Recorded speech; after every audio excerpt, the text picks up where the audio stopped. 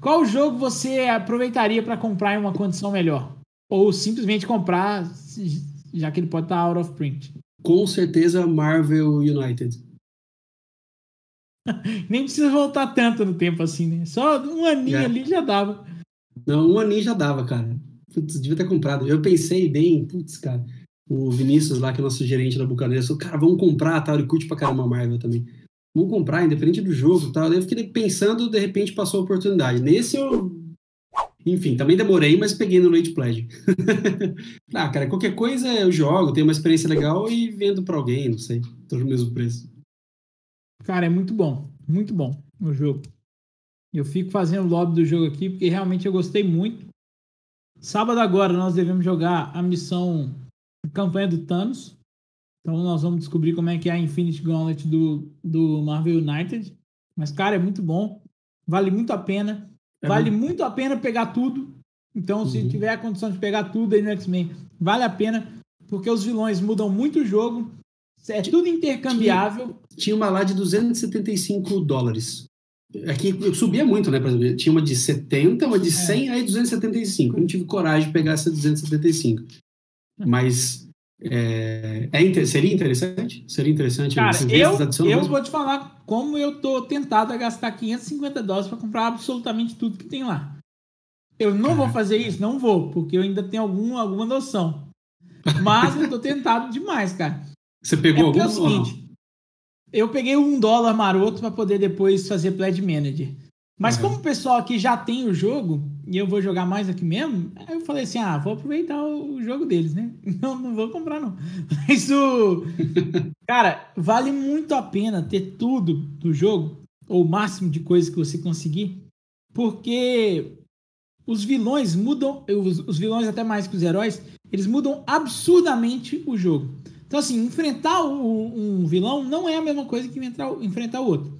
Eu joguei quatro, quatro partidas com quatro vilões diferentes. Um é um cabeçudo que eu não sei o nome dele. Você sabe, Paulo? Modok. Modok. Eu, eu, eu ia chutar ele, Modok. Cara, ele é um desgraçado no jogo. Que maldito. É difícil pra caramba ganhar do Modok. Outro, a outra foi a Era. Jogamos contra a Era. Aliás, isso é que é o mais louco. Colocamos a Era na mid school lá do, do Spider-Man contra o Spider-Man e o Demolidor. Então, tipo assim, é uma mistura que é massa demais. O jogo é Legal. incrível para fazer esse tipo de coisa. E foi muito bom também. E antes disso, a gente tinha jogado da caixa base nesse caso, o Tron e o Taskmaster. Então, cara, é, cada vilão é diferente. O Tron é um vilão que foca no overflow. Ele vai enchendo o board de, de é, civis e de thugs, né? De bandidos lá, bandindim. Bandido. Bandindim, desgraçado. É, o, o, o Tron, ele enche o tabuleiro disso. E aí, quando vai dando overflow, ele vai ferrando seu jogo. Já o, o uhum. Modok lá, ele.